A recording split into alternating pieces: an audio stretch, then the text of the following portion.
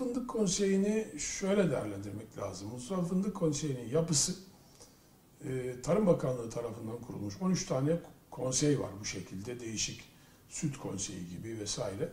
E, Fındık Konseyi'nde yapı e, sanayici, ihracatçı, tüccar, ziraat odaları, ticaret borsaları, ticaret odaları, üniversiteler ve araştırma kuruluşları tarafından hepsinin üye olduğu bir kuruluştur. Ulusal Fındık Konseyi. Ve bizim iki tane temel amacımız var Ulusal Fındık Konseyi'nde. Bir, sürdürülebilir bir üretim istiyoruz. Yani fındık Allah ne verdiyse bu sene 800 bin ton, bir dahaki sene 500 bin tona düşünce e, bir sene 500, bir sene 800 tüketici veya bu konuda sanayisine yatırım yapmış olan insanları zora sokuyor. Çünkü ham maddeyi o zaman çok pahalıya buluyor ya da bulamıyorsunuz. Dolayısıyla biz fındığın bütün paydaşları olarak şunu arzu ediyoruz. Üretim sürdürülebilir ve bilinebilir bir üretim olsun. Doğal afetler her zaman olacak.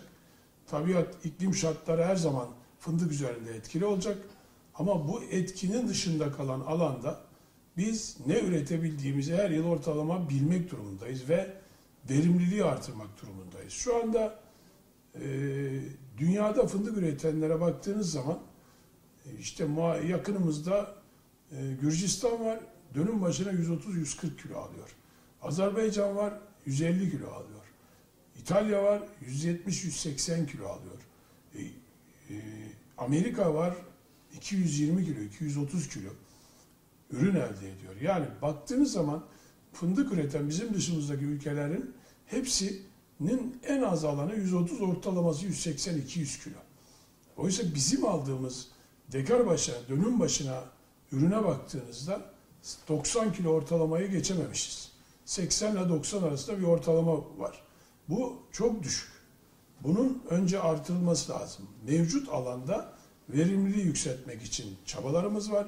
Bunun için çalışıyoruz ve nasıl verimlilik artırılır ve sürdürülebilir bir üretim elde edilir? Fiyatın sürekli değişiklik göstermesi, çok düşük çok kalkması da bu sefer tüketici açısından ve fındık sanayisi açısından olumsuzluklar oluşturuyor. O yüzden de biz e, bilinebilir ve e, altı ve üstü tespit edilmiş bir fiyat ama bunun hem üreticiyi hem de tüketiciyi memnun edecek, sanayisini memnun edecek bir fiyat olsun istiyoruz.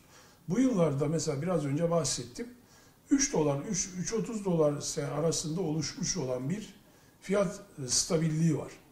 Bu ürünün e, o seneki rekoltesine bağlı olarak azalabilir, artabilir ama e, çok aşağılara ya da çok yukarılara gitmesi e, ürünü olumsuz etkiliyor. Çok fiyat düşerse üretici bahçeye girmekten vazgeçiyor.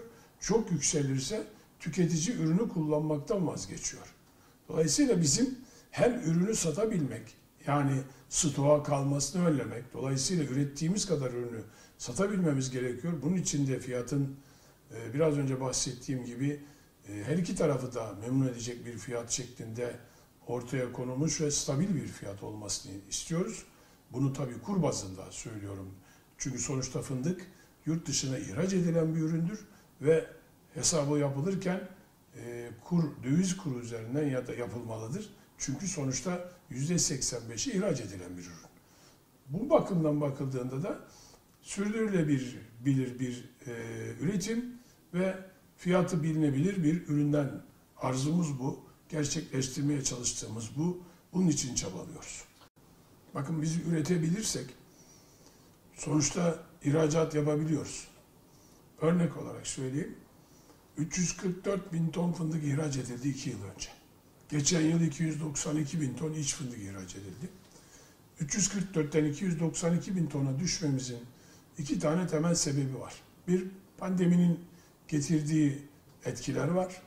İki, e, fındığın ürün olarak bir önceki yıldan daha az olmasından dolayı ihraç eden firmalarımız, ihracatçılarımız ürünü satarken bulamama korkusuyla çok yüksek miktarda ürün satışları gerçekleştiremiyorlar. Ya da istenilen ürünü istenilen tarihe taahhüt edemiyorlar. Dolayısıyla biraz önce bahsettiğimiz gibi yani ürünün bilinir ve sürdürülebilir olması gerekiyor. Yani bir 800 bin ton, bir 500 bin ton olduğunda 800 bin tonken sattığınız ürünü 500 bin tonken satmaya devam edemiyorsunuz.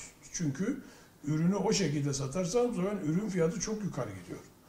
Dolayısıyla her yılı kendi içinde değerlendirmek durumundasınız.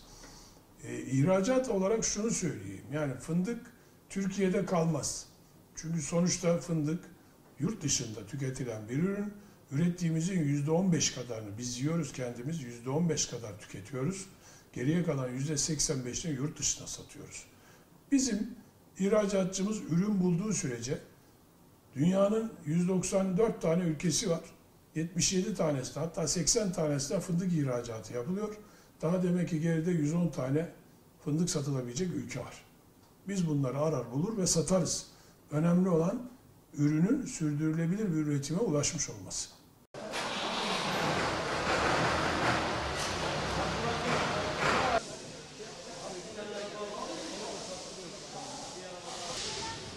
Buyur. 05'in 43. Sistemde çalışıyoruz her türlü. Her şeyimizde kamera var. Her anını kamerayla izliyoruz. Bak o kamera.